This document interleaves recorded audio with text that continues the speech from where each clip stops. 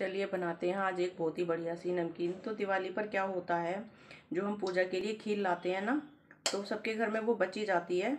एक पैन ले लेना है, उसमें हम डालेंगे थोड़ा सा देसी घी। तो अभी मैंने ये थोड़ी सी मूंगफली डाल दी है।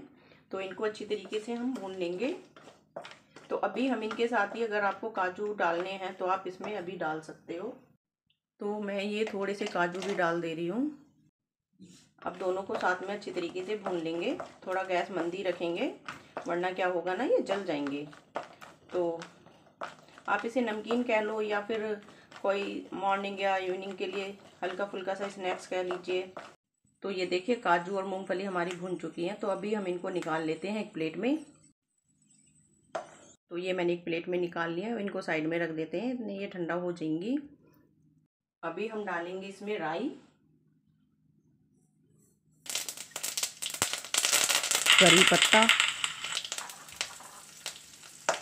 अच्छे से मिक्स कर लेना। है डालेंगे थोड़ी सी हल्दी।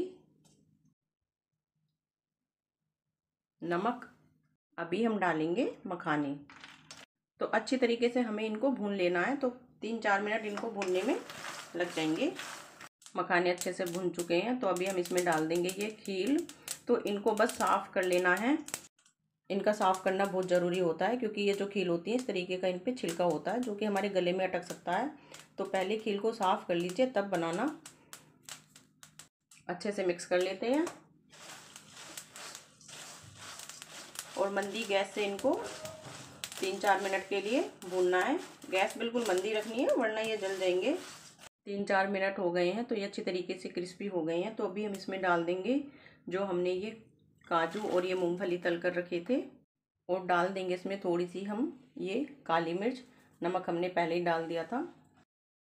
अभी दो मिनट अभी से हम और चलाएँगे और फिर अब गैस बंद कर देंगे। फ्रेंड्स, ये हमारी खील की नमकीन बिल्कुल बनकर तैयार है। ये देखिए, बिल्कुल अच्छी तरीके से क्रिस्पी हो गई है। तो जब ये ठंडी हो जाए तो आप किसी एयर टाइट कंटेनर में भरकर इसे रख लीजिए। और आप सुबह, शाम या टीवी देखते वक्त किसी भी टाइम आप इसे खा सकते हो। फ्रेंड्स वीडियो पसंद आया हो तो आप मेरी वीडियो को लाइक कीजिए, चैनल को सब्सक्राइब कीजिए। चलिए मिलते हैं फिर नेक्स्ट वीडियो में। तब तक के लिए बाय बाय